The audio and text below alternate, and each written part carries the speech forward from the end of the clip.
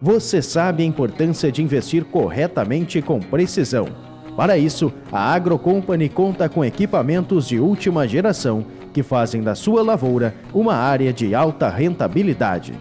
AgroCompany, tecnologia que gera rentabilidade.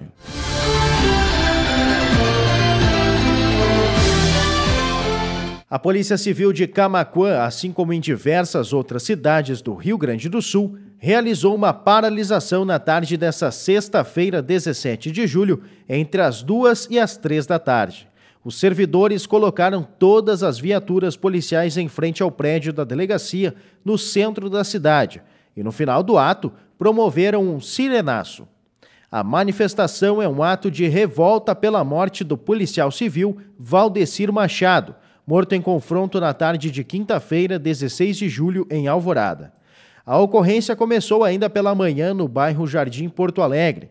A Brigada Militar prendeu Hamilton William Neri Ferreira da Silva, de 23 anos, por crime relacionado à Lei Maria da Penha. Levado até a delegacia de polícia, Silva conseguiu fugir. Os agentes foram atrás e, na perseguição, Machado entrou em luta corporal com o criminoso. Ele perdeu o controle da arma e, nesse momento, Silva aproveitou e atirou. Após matar o policial, o homem conseguiu fugir. Na sequência, foi detido novamente pela Brigada Militar no bairro Intersul.